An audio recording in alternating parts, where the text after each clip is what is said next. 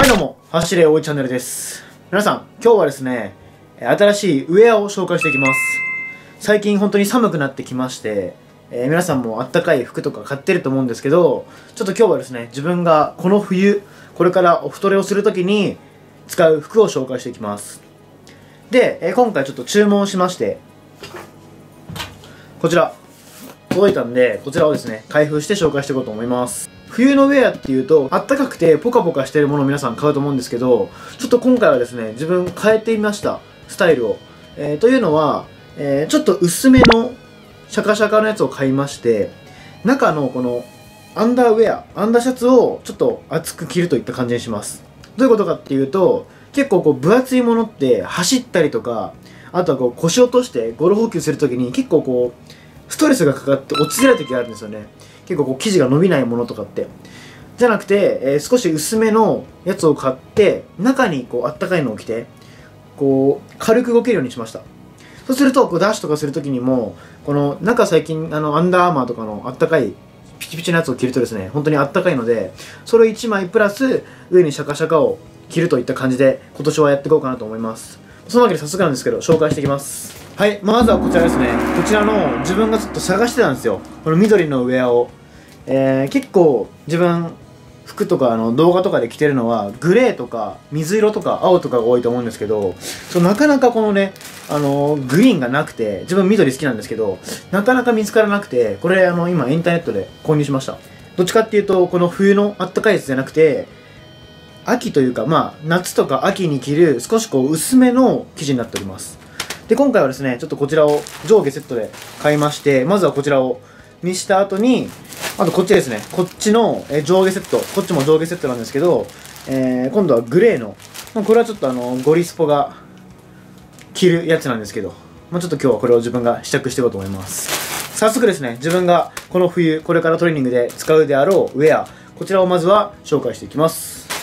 ちなみに、あのー、冬のウェアって結構上下でまあ2万円とかするんですけど、これも一応2万円上下でするんですけど、あの半額で購入できたので、ちょっとあの一応概要欄に買ったお店を書いておくんですけど結構もう死ぬが薄かったのでちょっと急ぎ目の方がいいかもしれないですね。あのこれも届いてすぐ動画で出してるんですけど昨日届いて今これ多分今日出てます。はいじゃあまずこの上の上ですね。上のこちらになります。はいあの自分がちょっと好きな感じの緑ですね。でやっぱりトレーニングウェアって自分結構色気にするんですけどずっと緑を探してました。であの夏場着てた半袖とかはよく緑を着てたと思うんですけど冬のえー、なんだろう冬のシャカシャカ系とかであんまりこう緑を見つけられなかったので今回ちょっとね即買いました。でサイズは L サイズですね。L サイズを購入してはいこんな感じの薄そうに見えるんですけどちょっとあのそんな薄すぎずといった感じですかね。えー、生地としてはちょっとサラサラの生地のデサントのウェアになります。ちょっとこちらを着ていきましょう。でやっぱりインターネットで買う場合ってちょっとサイズが怖いんでちょっと自分今回大きめのつもりで買ったんですけどそんなに大きくないですね。本当に普通に動けるぐらい。はい。ちょっとこれタグ外してないんですけどあこれ下はまだ違います。今上はこんな感じですね。でまあ普通に本当にキャッチボールとかこう投げるときにも全然こう引っ張ってもまだ余裕がある感じのこういう感じですね。はい。全然こう伸びますね。もうこんぐらいでこの中にあのこの下にもう一枚熱いウェアをアンダーアーマーのコールドギアとかを着るとちょうどいいんじゃないかなと思います。でまあちょっとこの今画面で見てるんですけど自分こういう色結構好きなんでお 自分結構こういう色好きなんでいいかなと思いますね。タグがちょっと後で外すんでちょっと今日はこのまま取っちゃいますけど。はい下はですねこういう感じのグレーですね。下はグレーの、まあ、生地はこれと同じ生地のウェアになります。こちらも同じく L サイズを購入しました。はい L サイズですね。下のパンツの時も結構ピチピチなやつを買ってしまうと自分結構お太りでゴロ補給とか低い動きをするんですよ。その時に結構腰がこうパツパツケツのところがパツパツになっちゃって動きづらいと思ったんでちょっとこれもですね L サイズにしました。いつもは服とか買う時 M になんです M 履いてるんですけど今回は L サイズですね。はい下履くとこんな感じですね、えー、今しゃがんだ時にもしっかりこう余裕があるというかこう伸ばしても全然余裕がある感じです。で、えー、いつも M サイズなんで少しまあかかとのところこうかかってる感じはあるんですけどまあそんなに問題ないかなと思いますね、普通にこう足上げても全然こう余裕で動くんで。はいいいかなと思います。こんな感じで動けますね。この動きを結構するんですよ冬は。なんでここがパツパツだとこうのの突っ張っちゃって動けないんですけどこれ余裕でこう動けますね。はい。こういう感じで。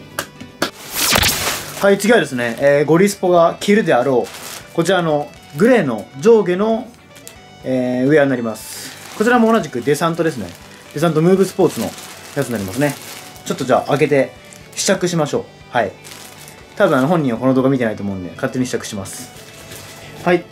えー、多分全く同じかなと思いますね。えー、こういう感じの。ちょっとまあグレーなんですけどグレーにこう文字が黒入ってますね。こちらも同じく L サイズになります。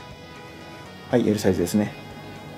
まあゴリスポは身長は多分自分より大きいんですけどまあちょうどいいんじゃないですかね。はいこういう感じで普通にこう動けますね。通にまあこう伸ばしても普通にこう伸ばしても全然余裕で動けるんで。はい。いいんじゃないかなと思います。はい。まあ多分ゴリスポの方が自分より少しこうがっちりしてると思うんですけどまあもう少しこう余裕はあるのではい。あと伸びますね。はい。少しこうストレッチ生地といった感じになりますね。はいちょっとあの下のズボンは試着しませんがこれと同じ色のデサントの、えー、パンツになりますねこちらも同じく L サイズになります。はいといった感じですね。今回は自分が購入しました。新しいウェアを紹介しました。いつもはえー、結構シャカシャカのあったかい生地のやつを着てたんですけど今回は下に暖かいのを着て上にちょっと薄めのを着るというスタイルでいこうと思います。まあ群馬県結構風が強くて有名なんですけどまあそういうもう風が強すぎてやばいって時はあのー、もうちょい暑いのを着るかもしれませんが基本的にまあそんなに風が強くなくて普通に走ったりする時とかあとはまあ昼間のお昼の撮影とかの場合はああいうものを着て撮影していこうと思います。やっぱりあの道具が変わるとちょっとやる気もこう自分的にも起きると思うので、まあ、道具に頼るっていうのはおかしいんですけどちょっとやっぱり道具もですね新しくして頑張ってみていいかな頑張ってみるといいかなと思います、まあ、あとは、え年末とかになりましてまたこういうしっかり自分が使ったグローブとかをまあ、1年間お世話になったグローブを手入れするのもいいと思うので、またそういう動画も作っていこうと思うんで、ぜひよろしくお願いします。はい、というわけで今日は久々の商品紹介でした。えー、ぜひチャンネル登録、そして Twitter のフォローもよろしくお願いします。ではまた明日の動画でお会いしましょう。失礼します。ありやした。そして今月のプレゼントはこちら。ジェームス YH 軟式用の 10mm アップです。こちら、持ち替えが非常にしやすいグローブで、内野手には必見のグローブとなっております。こちら、チャンネル登録とコメントで応募完了です。たくさんのご応募をお待ちしております。12月末に発表いたします。ありやした。ありやしたありやした今日も見てくれて